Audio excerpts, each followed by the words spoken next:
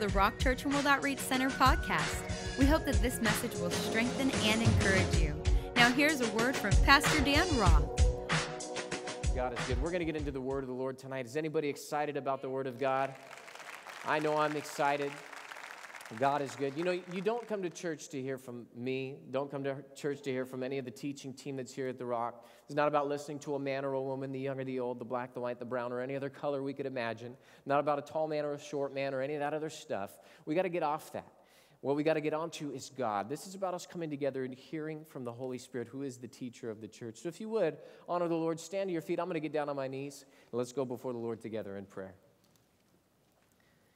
Father, tonight is just awesome being in your house. Great to be in your presence, Lord. We love you, God. And, and it's just a privilege every time we come together to just host heaven and your people, God, and to experience your presence and just what you do, Father God. We just are grateful for what you've already done in this church service, God, lifting burdens, encouragement, God, taking those yokes of depression and despair off of people, God, and putting on those garments of praise, Lord. We're just excited about what you're doing here, God. And Lord, as we approach your word and open it up, we pray that you would open it up to us. Open our eyes to see, our ears to hear, and may we have hearts that have good understanding. May we be the good ground where the word is sown, and may it produce something in each and every one of our individual lives, God. How wise you are that you can speak an individual word to each and every person in this room, God. Lord, we are in awe of you and we praise you and we thank you, God, that tonight you give us the vision, the wisdom, the direction, the encouragement, the strength, even the correction and the discipline that we need for our lives, Lord. We praise you and we thank you for that. God, we don't just ask this blessing upon ourselves, also, we would ask it for all the churches here in the Inland Empire as well as around the planet. That our brothers and sisters, Lord, those that are preaching and teaching and hearing the gospel of our Lord Jesus Christ, we pray that you would bless them as you would bless us, speak to them and teach them as you would teach us and speak to us tonight, God. Lord, we give you the praise, the glory, and the honor. Be amongst them as you'd be amongst us tonight. Jesus' mighty name. Everybody in agreement said?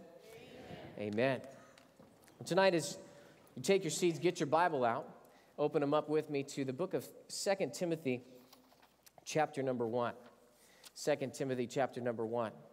Now, I want to make a confession to you guys. I, I have, over the years, developed a taste for coffee.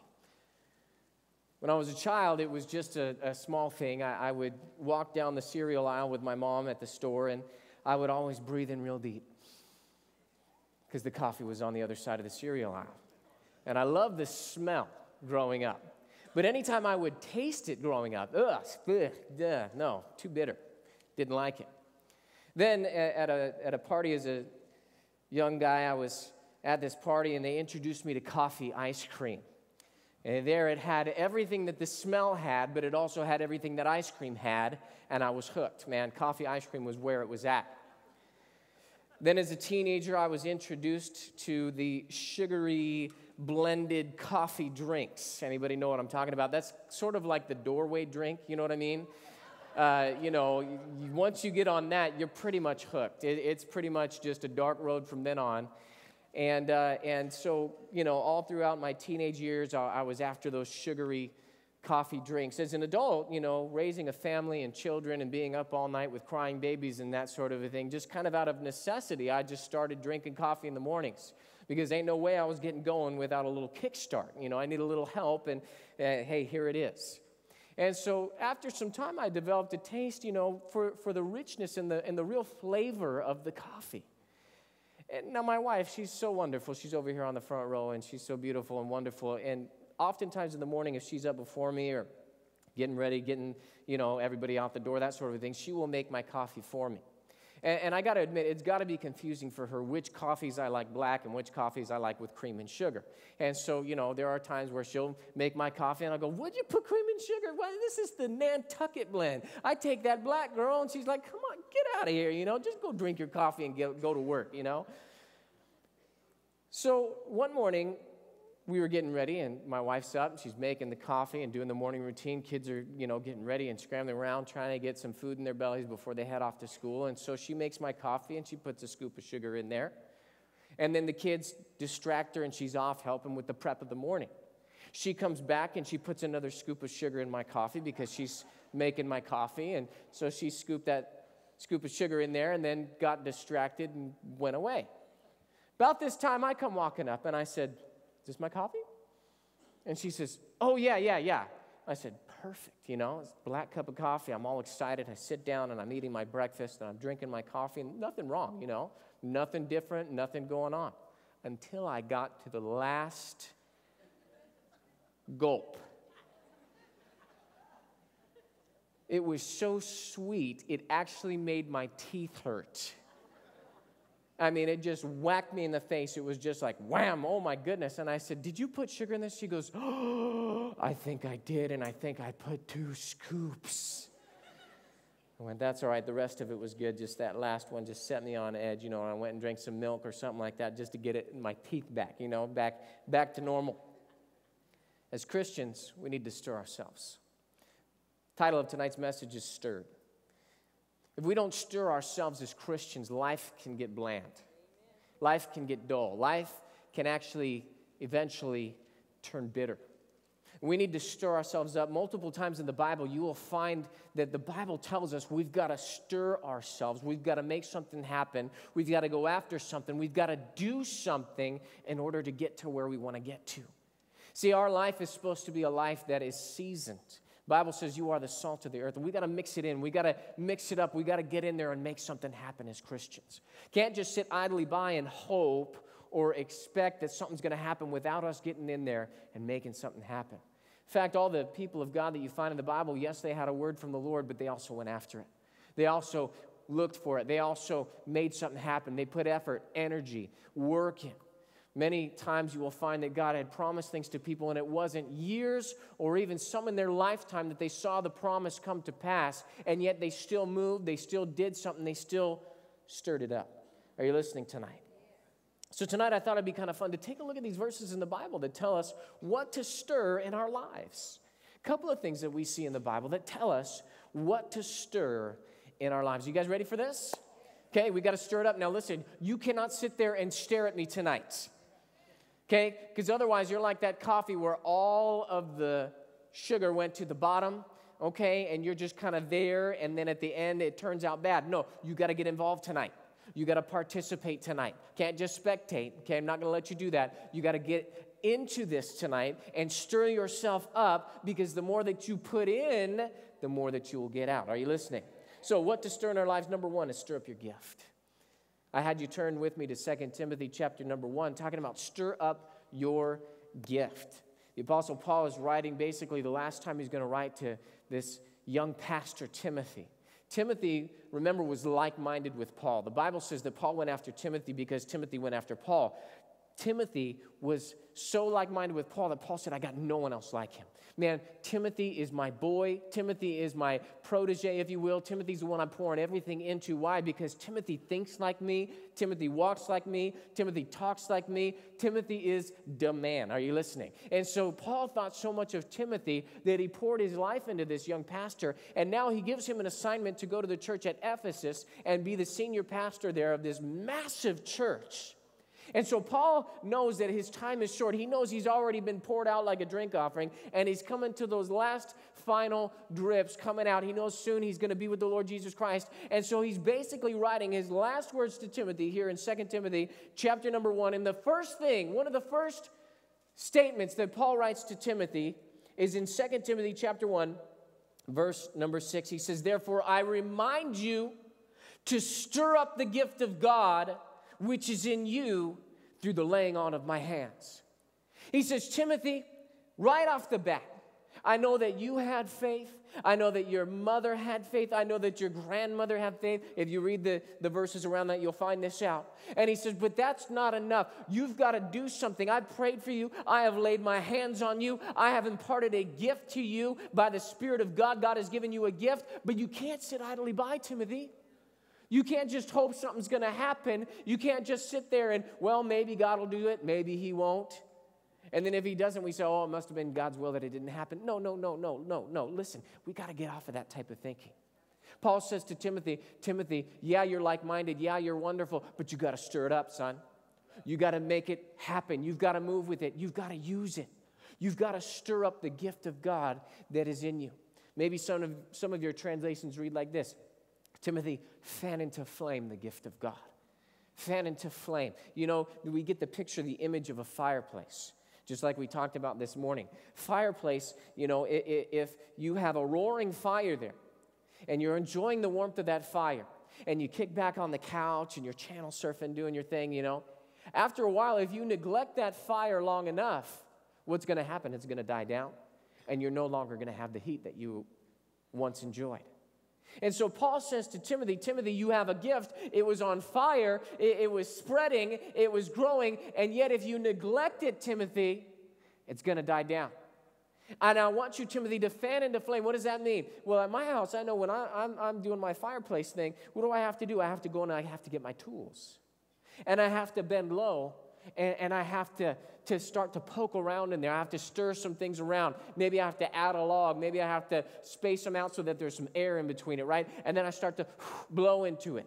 I start to fan into flame those little embers. Maybe you got to turn something, maybe you got to put something over on the other side. Spiritually, what does this mean to us? It means that we got to get a hold of our tools. We got to get a hold of faith in the Word of God. And we got to humble ourselves, bend down low and you got to start to speak and you got to start to declare the word of God. You got to start to move in the gift that God has given to you and you got to start making things happen. Maybe look at it from another angle. Maybe start to turn some things over in your life or reprioritize. Are you listening tonight? And so we got to stir up the gift of God that is in us. You have a gift. And God wants you to use your gift for the glory of God. You say, Pastor, me? Little old me? Here in San Bernardino, I, mean, I'm not gifted, I'm not talented, I'm not smart. I'm not educated, I'm not pretty or any of that kind of stuff, you know, but but what what are you talking about? I have a gift. Well, in the Bible it tells us, 1 Peter the 4th chapter verse number 10. Take a look at it with me up on the overheads. 1 Peter the 4th chapter verse number 10. As each one has received a Oh, come on. Come on. Remember I said I'm not going to let you just sit there tonight. You got to stir it up tonight as each one has received a what? A gift. Minister it to one another. What does that mean? Stir it up. What does that mean? Fan it into flame. As good stewards or managers of the manifold or many sided grace of God. God says, I'm giving you a gift, I'm giving you ability, I'm giving you my power to do it. And yet, if you just sit there with it in your lap, I'm not going to do you any good. So, what does God put in your hand? What is the gift that God has given you? Maybe some of you have the gift of gab. And you said, Yeah, I just like to talk. Well, listen, this house has places for people who have the gift of gab. We, we've got assignments for you. We want you to host people. We want you to go and teach people. We want you to go out there and reach people for Jesus Christ. We want you to go and invite someone to church. See, there are many ways that you could use that gift, but if all you use that gift for is just gabbing at work, gabbing here, gabbing there, but you never use it for the Lord, Mm, now you just missed the point. Oh, maybe you have a gift and you say, My gift is I make money. I'm very gifted at business. Hey, that's great. But if all you're doing is accumulating wealth, if that's all you did, then eh, it doesn't really make too much of a difference. But when you take your gift and now all of a sudden you start to pour it into the kingdom of God and put it into God's hands and you say, All right, I'm going to give my tithe, but over and above that, I'm looking for a project. I'm looking for something to get involved in. I'm looking for a way to use my gift. I'm going to start teaching other people. I'm going to start raising up entrepreneurs. I'm going to start building the kingdom of God with my gift. Now, all of a sudden, what are you doing? You're stirring it up, you're using it for the glory of God. Whatever your gift is, some people say, I just like children. Then, hey, go rock some babies over there in the nursery. Go, go, go play with some children out there. My goodness, some people say, I had a troubled teenage life. And, now, on the other side of that, I think I could help a teenager in their walk with the Lord. Well, then, hey, go talk to Pastor Richard and the youth over there and start helping some teens. Whatever it is, maybe you like cars and cars is your thing, then go be in the parking lot and be with cars. Go help people park cars. Do something with your gift, but you got to stir it up. We can't just sit on our gifting and hope that the job is going to get done.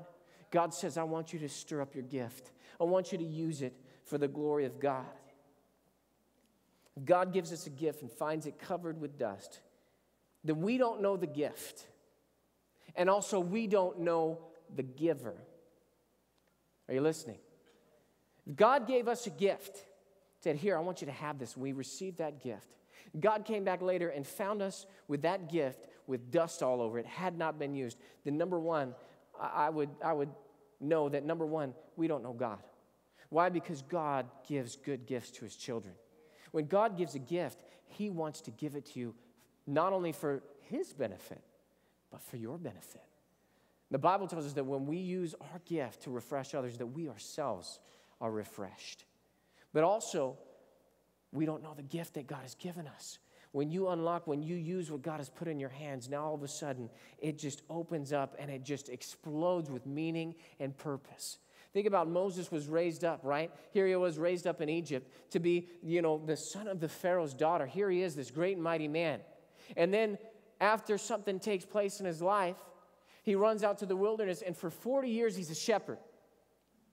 Here he is thinking, you know, I got all this military experience, I've got all this wealth experience, I've got all this business experience, I've got all this worldly experience, and now here I am, and my only experience is with sheep wandering around the wilderness with this staff in my hands.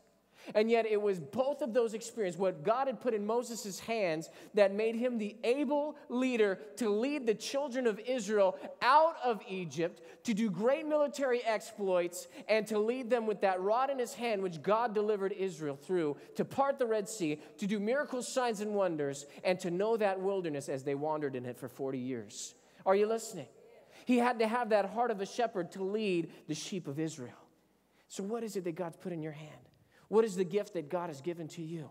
Now it's time to stir it up, fan it into flame, church. Can you say amen tonight? What to stir in our lives? Number one is stir up your gift. Second thing, second thing for tonight is stir up others. Stir up others. You say, wait a second, what do you mean stir up others? Well, let's take a look at it together in the Word. You're there in 2 Timothy. Turn with me to the book of Hebrews. Hebrews chapter number 10. Hebrews chapter 10. Great couple of verses in Hebrews chapter number 10. Talking about things we can stir in our lives. We can stir up others. God never intended us for to live an isolated or insulated life. From the moment we are born, we are born into relationships. Cast on others for our needs. And so God put us into this earth with relationships and with people around us. And now God says, You can stir up your gift, but I also want you to stir up others. I want you to encourage someone else. I want you to help someone else. Let's take a look at it. Hebrews chapter 10, verse number 24 says this And let us consider one another. Everybody say one another. Everybody look at your neighbor and say, That's you. Look at your other neighbor and say, That's me. Okay? Let us consider one another. Why? In order to stir up love and good works.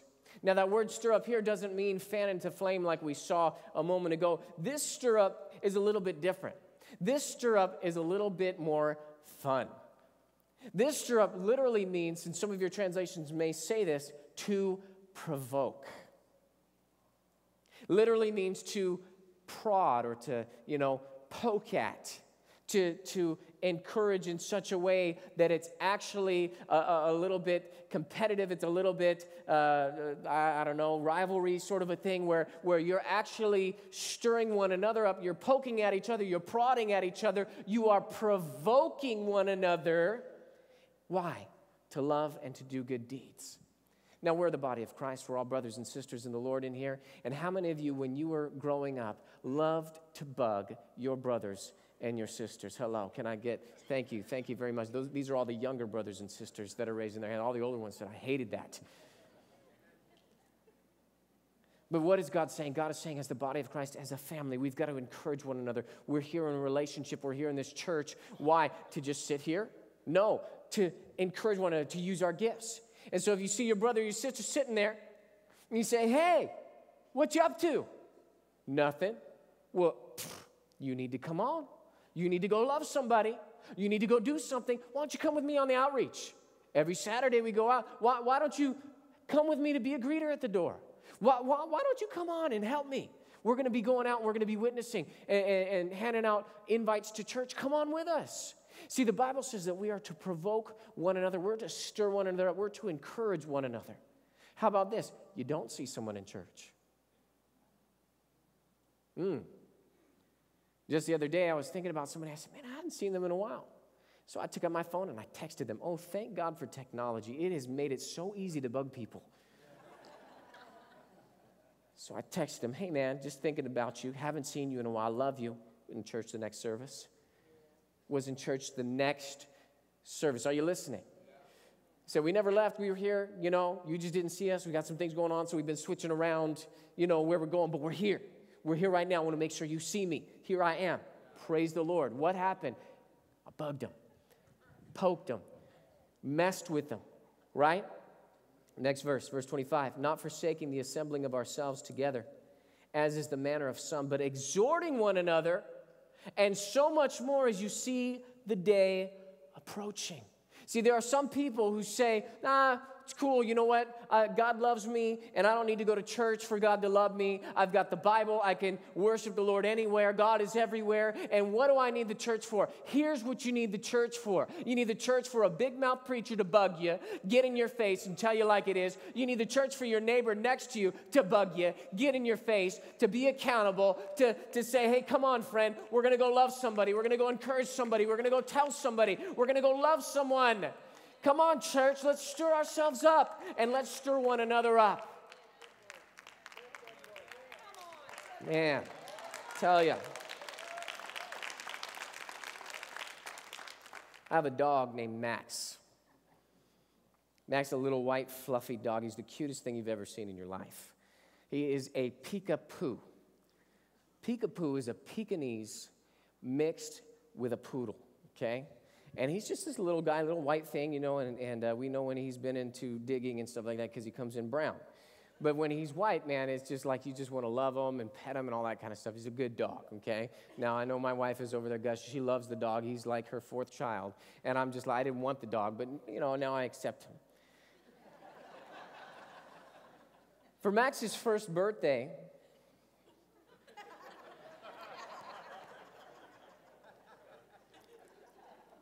I had the assignment to get Max a present.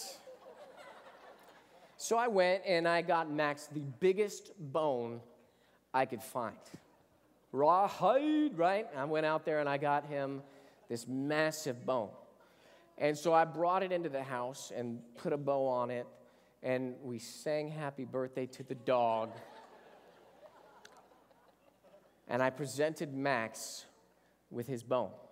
Now, much to my delight, Max was scared of the bone. You say, Why do you like that, Pastor? Here's why because I just love tormenting the dog, right? And so I took that bone and I said, Maxie, come on, Maxie, Maxie. You know, and he's like, right? And he's, he's, he's, he's just afraid of this bone. And so I'm tapping it on the ground and he's skittering on the tiles, can't get running fast enough, you know, and he can't get going.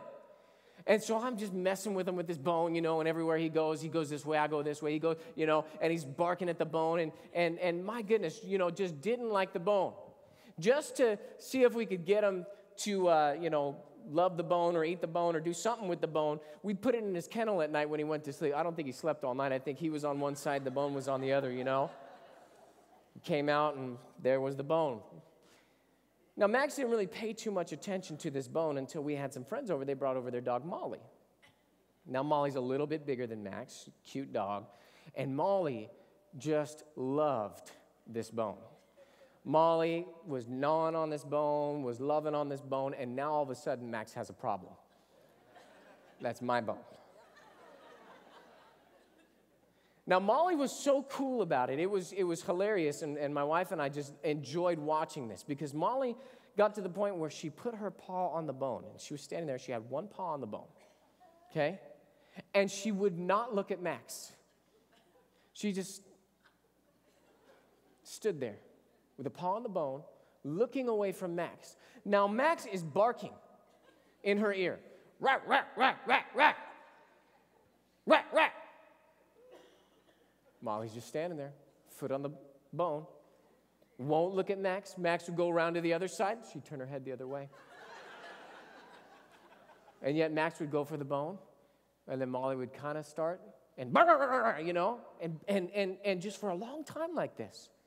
Finally, Max slowly creeps up on the bone. And he's looking, and Molly's still standing there, foot on the bone, not paying him any attention. Max gets right up on her ear and nips her ear. Right at that moment, what does Molly do? You know, snarls at him and barks at him. Max goes racing around the couch, you know, hiding behind the couch now. And there he is. He snuck up on her later and scared her. My goodness, we had so much fun watching that.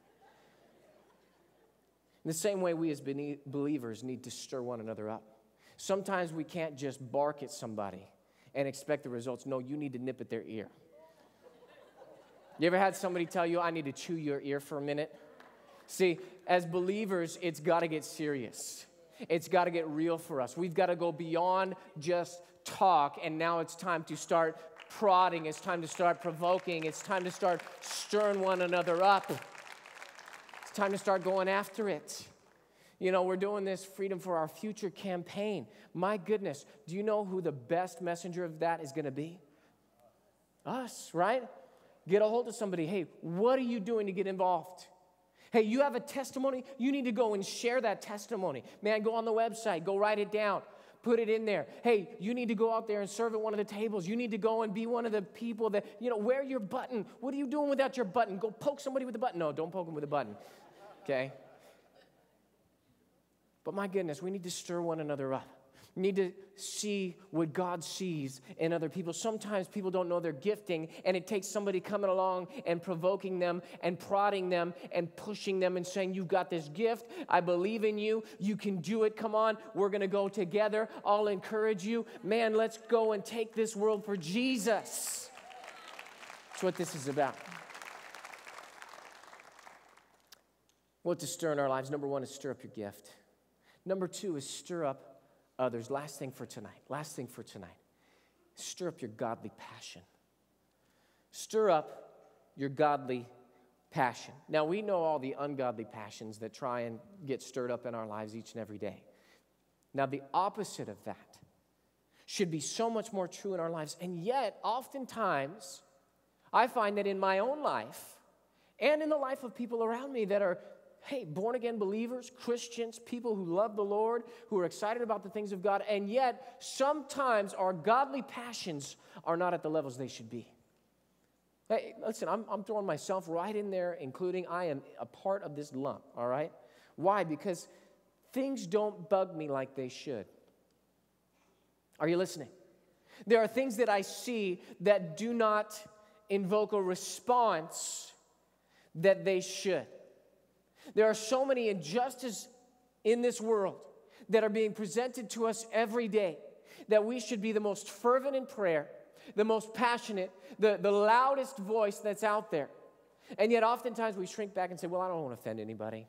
You know, I, I can't do anything about that. I'll pray for them, and then we never do. And listen, I'm guilty of this too. And yet God says, I want you to stir up your godly passion. I want you to, to, to go after this thing. I want you to move in this area of your life. Let's take a look at it. Acts chapter 17.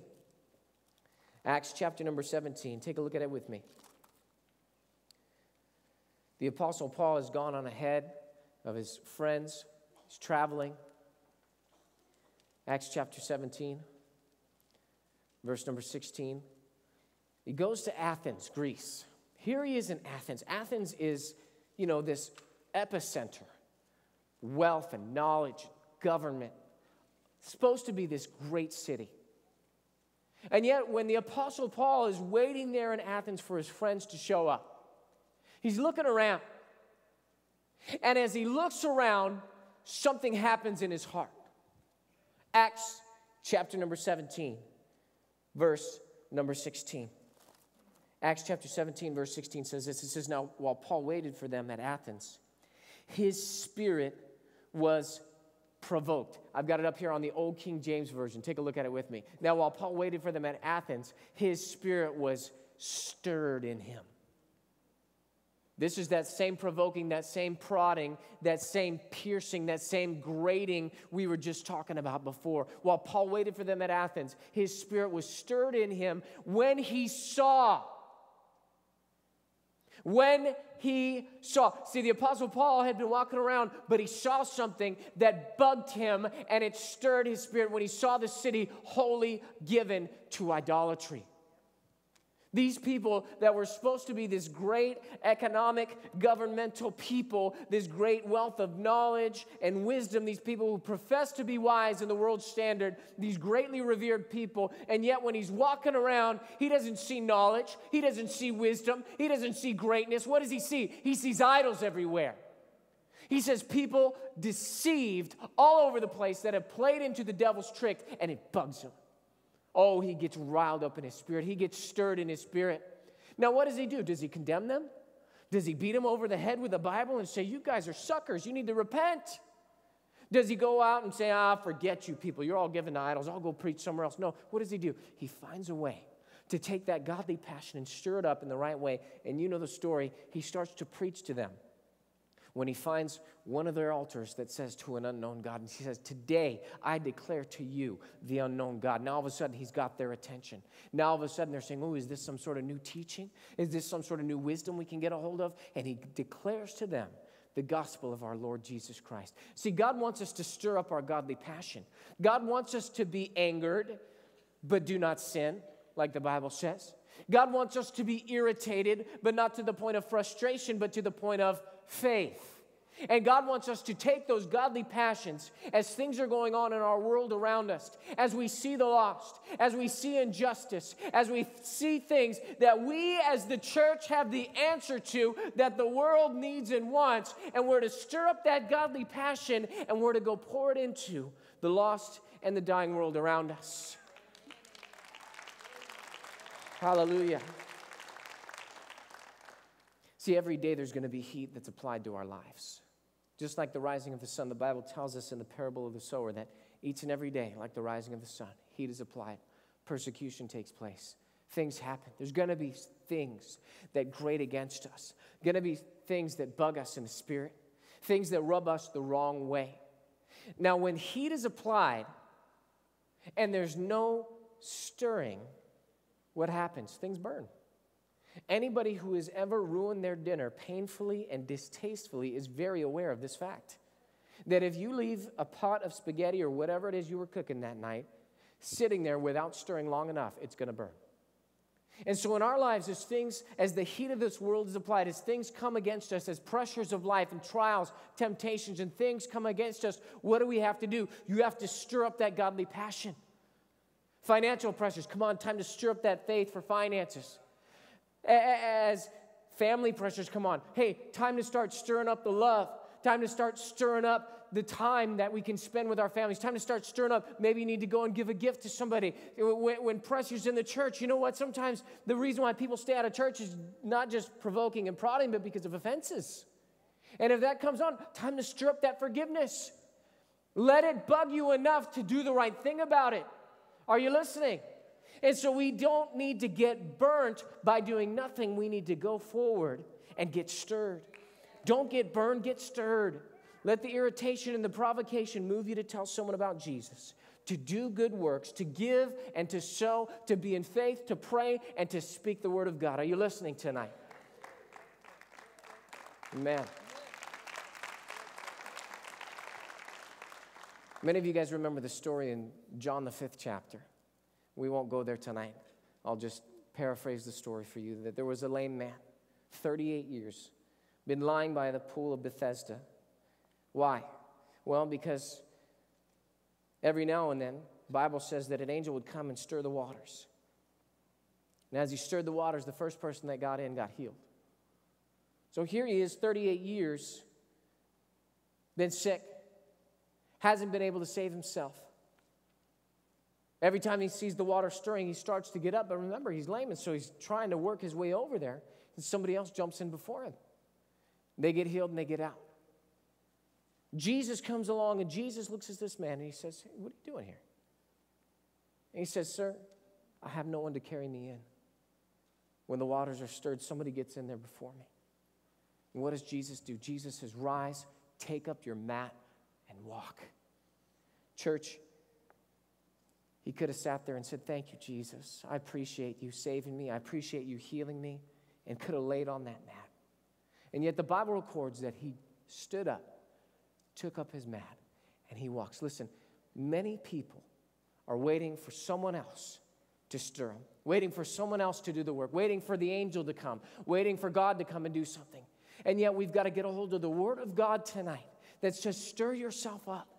Stir up the gift of God. Stir one another up. Go and provoke somebody to love and to good deeds. And stir up your godly passion. Get a hold of that word and listen, take up your mat and walk. It's time to go and do something with this tonight, church. Tonight, look for ways that you can immediately apply it. Some of you, maybe that means that you're going to go in in your prayer times that you pray in the Spirit and stir up that gift. Some of you, that means that you're going to call somebody some of you, that means that you're going to share Jesus with somebody that this week. There are so many ways that God could apply this to your life. Stir it up, church. Stir it up. What did we learn tonight? Well, we learned what to stir in our lives. Number one, stir up your gift. Number two, stir up others. Number three, stir up your godly passion. If you got something from the Lord tonight, come on, give God a great big praise. Hallelujah. Hey, you guys have been awesome tonight. I just want to thank you for allowing me to speak into your lives and provoke you a little bit prod at you. Maybe tonight you said a little bit of ouch more than you did amen. That's okay. We're all there. Tonight, it'd be a tragedy for us to come into the house of God, and you know, only at the Rock do I know of that you can have a Samoan lead you in a victory chant and then sing a South African song. You know, just cool, just a lot of fun. It'd be a tragedy if we came to the house of God and had a good time like we did, praising and worshiping the Lord, experiencing His presence, and listening to the Word of God, and you guys were great.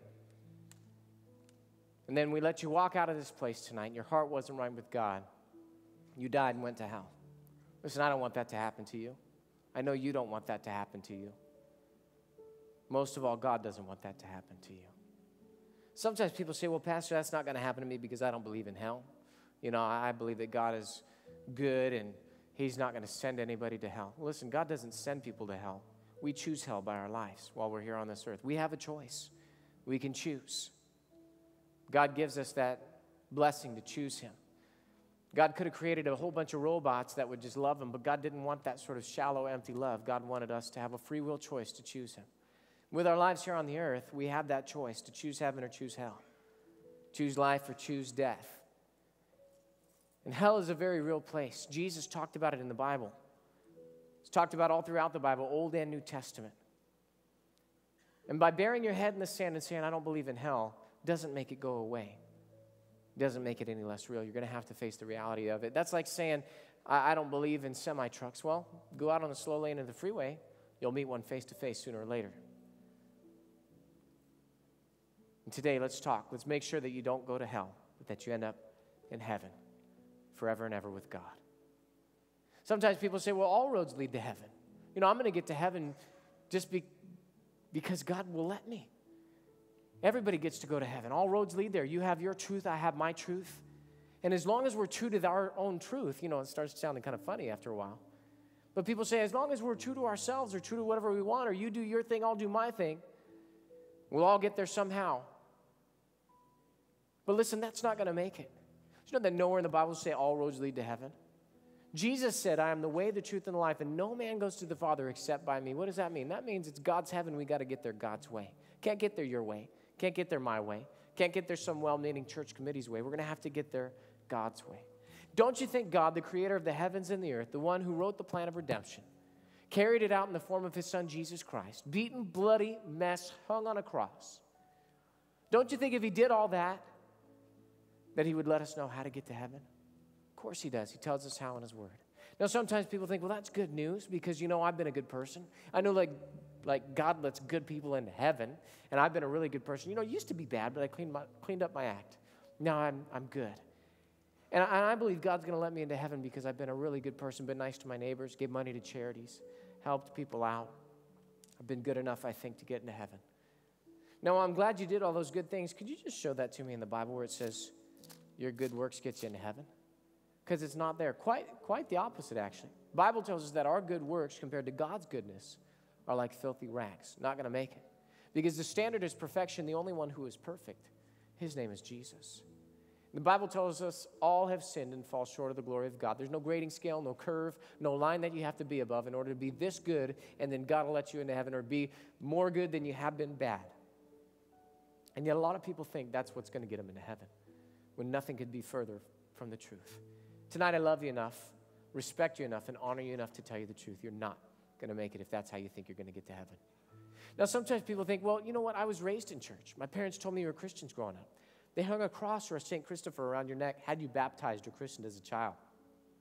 And, and you know, you, you went to Sabbath school or Sunday school or catechism class. Born in America, America's the Christian nation. Everybody born in America is going to heaven. We're not any other religions. We're not Buddhist, Muslim, Hindus. Therefore, we're Christians headed for heaven, right? Wrong. That nowhere in the Bible. Check it out. Nowhere. Nowhere does it say that you're raised in church, parents tell you you're Christians, that makes you a Christian. Nowhere in the Bible does it say that you wear religious jewelry, attend religious classes, be baptized or christened as a child, or be born in America that that gets you into heaven. Doesn't work like that. And nowhere, check it out, nowhere, nowhere do we see in the Bible God says that, well, you're not some other religion, and by default lumps you into the category of being a Christian, headed for heaven and denying your presence in hell. Come on. Love you, respect you, and honor you enough tonight to not play games, tell you the truth. You're not going to make it. So he said, Well, okay, Pastor Dan, I, I, get that. I understand that. But not only when I was a child did I go to church, here I'm sitting in church in front of you tonight. I consider myself to be a Christian. It's great. I'm glad you're here, but could you just show that to me in the Bible where you sit in church service, call yourself a Christian, that makes you a Christian? Because it's not there. That's like saying I could go down to Dodger Stadium in Los Angeles, bring a Dodger uniform, wear that Dodger uniform, bring my bat and my ball, sit in the dugout, call myself a Dodger, and think that I'm going to get to play in the game. You know what's going to happen? They're going to find me sitting there, drag me out, and lock me up. Why? Because, hey, I'm not one of the Dodgers. Can't just sit in church, call yourself a Christian. That makes you a Christian. It doesn't work. Some of you might be thinking, I understand that, I get that, but you know, my last church, you don't understand. I, I got involved. I helped out, carried the pastor's Bible, made decisions in that church. People thought of me as a, a leader. I sang in the choir, even taught in the Bible classes, got a membership card to that church. That's great. I'm glad you did those things. Just show that to me in the Bible. Could you were a church involvement get you into heaven? It's not there. Nowhere in the Bible say you help out, carry the pastor's Bible, make decisions. People think of you as a leader. That you sing in the choir, teach in the Bible classes. Come on, it's not there. And again, nowhere do we see in the Bible God is looking for your membership card to a church before you can enter the gates of heaven. Come on, let's talk tonight. Let me love you enough, respect you enough, and honor you enough to tell you the truth. You're not going to make it. Now, some of you might be saying, Yeah, I get all that, but I know God. Somebody told me that if I knew God, I'm a Christian. I know about Jesus, celebrate Christmas, and sing the songs every year of my life. Just finished celebrating Easter and the resurrection. I could quote scriptures to you, Old and New Testament. Come on, I know God. Yeah, everybody in America knows God. That's like the worst question you could ask somebody is, Do you know God? Everybody will say, Yeah, we know God. We know about Jesus. We know about Easter and the resurrection. We all celebrate Christmas every year of our lives. And yet, if you'd read your Bible, you would know that the demons believe that Jesus Christ is the Son of God. They're not Christians headed for heaven. The Bible records the devil himself believes that Jesus Christ is the Son of God and can quote scriptures. It's recorded for us in the Bible to see.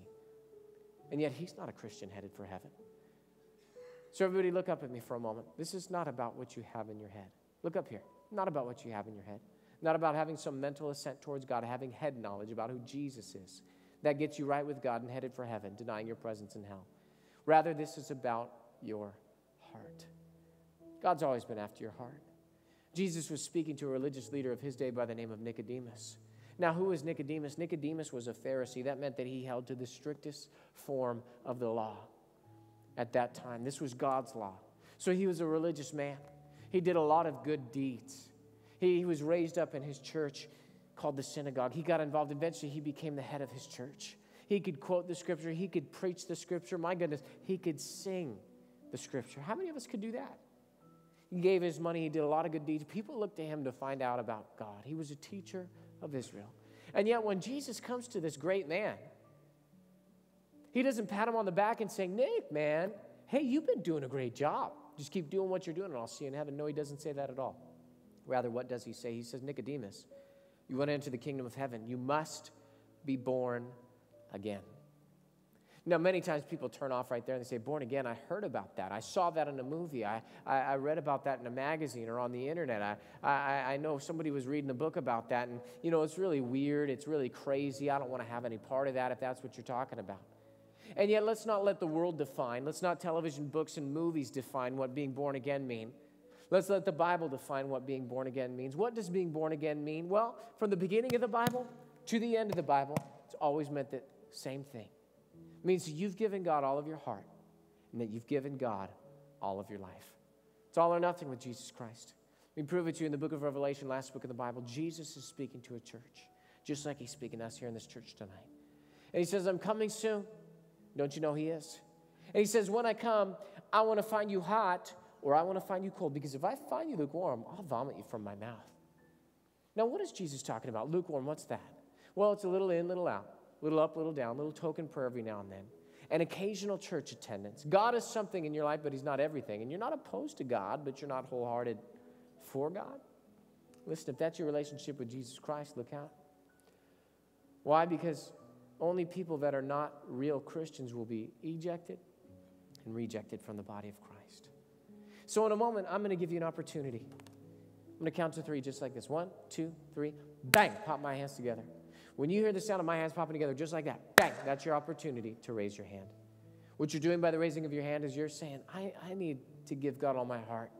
I need to give God all my life. I want to be born again, headed for heaven, denying my presence in hell. I'll see your hand go up. I'll count it. You put it right back down. Say, whoa, whoa, wait a second. Time out. If I raise my hand, I'll be embarrassed. Uh huh, you might be. Get over that embarrassment. Why? Because think of the trade off. Isn't it better to be embarrassed for a moment than it is to be in hell forever and ever and ever and ever? No one would make that trade. And yet tonight, many of you, your flesh will try and talk you out of it, embarrassment. Devil's trying to push you out of it. And yet, I'm provoking you tonight. Why? Because I don't want to see you go to hell. God doesn't want to see you go, go to hell. He loves you, he wants to be with you so much so that He died for you. Come on. You can get over it and give Jesus Christ your heart and life tonight. Simply acknowledging your need for Jesus by raising your hand in a moment. Jesus said these words. He said, If you confess me before men, I'll confess you before my Father in heaven. But if you deny me, I will deny you. So tonight, your call, your choice. Sit there and do nothing when you know you need to get right with God, or you can give God all of your heart and all of your life. Now, who should raise their hand? Hey, if you've been running from God instead of to God tonight, I'm speaking to you. If you're not sure about your salvation, come on tonight.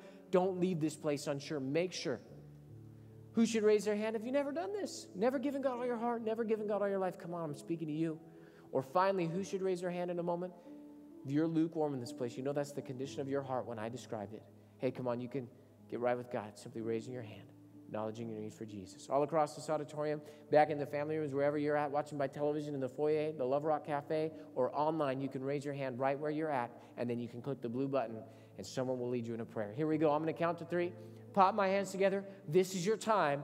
This is your moment of salvation. Here we go. One, two, three. Let me see your hands. Let me see your hands. Just raise them up high. Thank you. There's one. Anybody else, real quick, that I didn't already see? One wise person already. Come on. Come on. If you need to give God all of your heart, need to give God all of your life. I didn't embarrass them. I won't embarrass you. Come on, stir yourself during this time. If you know you need to do it, don't just sit there and stare because you're going to get burned. God is calling out to you and saying, Come on, come on. I love you. I want to be with you. Stir yourself up right now if you know you need to do this. Come on. Anybody else, real quick? Come on. Come on. If you need to give God all your heart and all of your life, no one's judging you, no one's condemning you. No one's going to laugh at you and say, Look at that fool raising their hand. Listen, we all have done this one way or another at one time or another. We're excited for you. We want you to do this. God is overjoyed. Anybody else, real quick? There's one wise person already. Will you join him? Anybody else? Anybody else? Come on, come on. Come on. I'm not selling knives at the county fair. This is real. We're talking about your eternal life. I'm going to, I'm to give you one more opportunity, then I'm going to close this up. Listen, you've missed enough opportunities in your life. If that's you, you need to give God all your heart and all of your life. Come on. Simply raise your hand when I'm looking your direction. Anybody else, real quick? Anybody else? Thank you, number two. God bless you. Who else tonight? Who else tonight that I didn't already see? Anybody else? Anybody else? All right, I'm going to close it up. Hey, listen, the Bible says that there is a party in heaven rejoicing amongst the angels, just over one person who repents. Tonight, we got double the party. All right? So come on, let's give the Lord a great big praise. Hallelujah. Now, listen, both of you that raised your hand, or if you didn't, but you should have, it's not too late for you. Here's what I want you to do in a moment I want you to get a hold of your coat, purse, sweater, a Bible, a friend if you need a friend. Right? We're all going to stand, give a clap, and a shout. As we do that, Elijah's going to lead us in a song. When you hear that, that's your cue. Get your stuff, get a friend if you need a friend, get in the aisle, and meet me up front because we're going to change destinies tonight. Okay, but we can't do that till we get you down here. So if that's you, you raised your hand, or you should have raised your hand. Get your stuff, get a friend if you need a friend. Let's all stand and welcome them. No one leave during this time. You come right now. Come on down. Come down to the front right here. Let's give them a hand as they come. Lord, I give you my heart. I give you my soul. You can come too. This is your time. This is your moment of salvation. You alone. Every Come on, you know you need to do it. Take, that step. and every moment I'm away.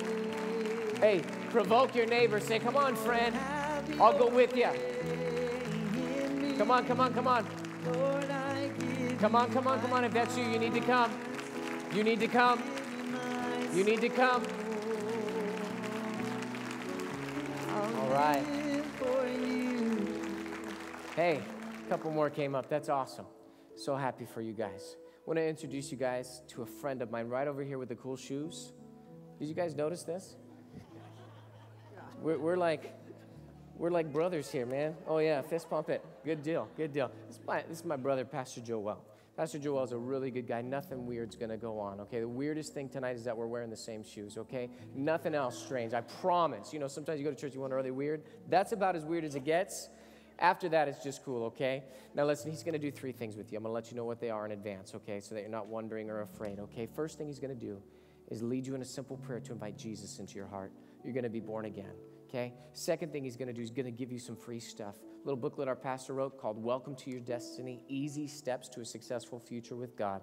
Take you maybe 20 minutes, 30 minutes to sit down and read it if you read it slow, okay? Now, I know we invest more time into television, movies, phone conversations, video games, stuff like that than 20 or 30 minutes. You can sit down, read about what to do next in your walk with God. Final thing he's going to do is he's going to introduce you to a friend we have here in the church that we like to call a spiritual personal trainer. Heard of a physical trainer at the gym helps you get strong, right? Spiritual personal trainer will do that for you spiritually. It's a five week process, okay? Meet with you once a week for five weeks, teach you five things out of the Bible. That's just one a week, right before any church service that you choose. Couldn't get any easier. And they'll just sit with you, encourage you, pray with you, might provoke you a little bit, you know, stir you up, okay? And, and basically, all it's going to do is going to help you get strong in the ways of the Lord so that you go on with God. Don't go back serving the devil. Okay? So if you guys will make a left turn and follow Pastor Joel right this way, let's give them a hand as they go. Hallelujah. Come on, let's give the Lord a great big praise.